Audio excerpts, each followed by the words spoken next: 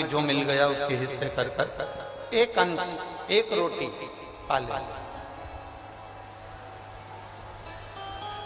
उसी तरह मुदगल ऋषि का भी एक क्रम था।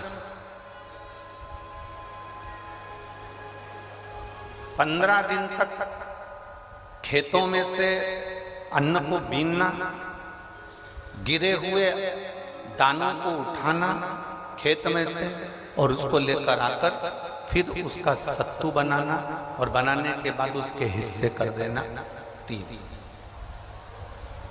एक हिस्सा खुद के परिवार का रखना, एक हिस्सा ऋषि संत साधु का रख देना और एक हिस्सा अतिथि का रख देना, पशु पक्षी जीव का रख देना। ये मुदगल ऋषि का एक नियम था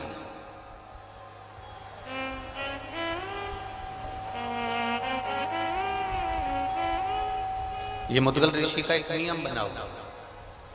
अब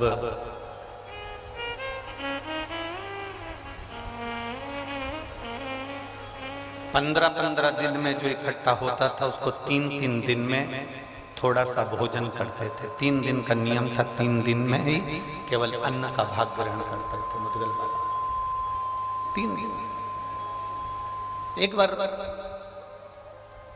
कुरुक्षेत्र की पवित्र भूमि पर अकाल पड़ गया और आसपास सब दूर सूखा पड़ गया, कोई अन्न का दाना नहीं मिला, कई महीने निकल गए, ना स्वयं को कोई अन्न का दाना मिलता है, ना उनकी धर्म पत्नी को कोई अन्न का दाना मिलता है, ना बेटे को मिलता है, ना बहू को मिलता है। कुछ नहीं।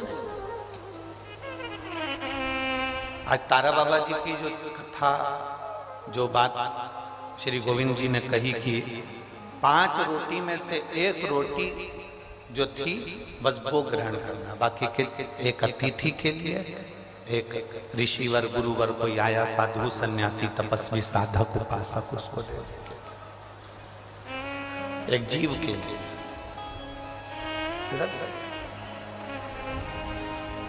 मुदगल ऋषि कई महीने निकल गए, पर अन्न का कोई दाना नहीं मिला।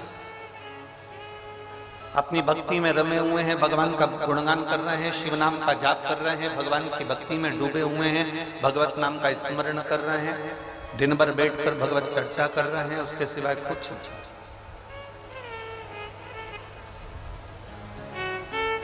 पिता, शंकर का जाप करेगा ना तो चल जाएगा।